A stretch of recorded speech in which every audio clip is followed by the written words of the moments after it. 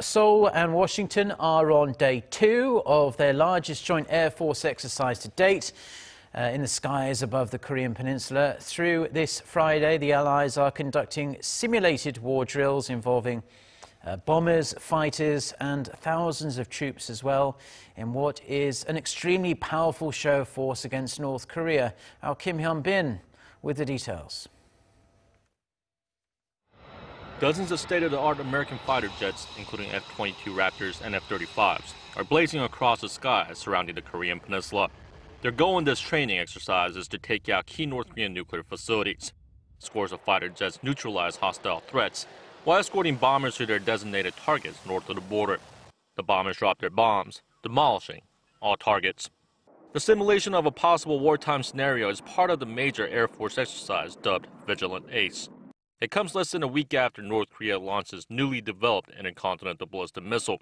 The five-day exercise is the largest ever combined Air Force drill between the two allies, involving 238 warplanes and around 12,000 personnel.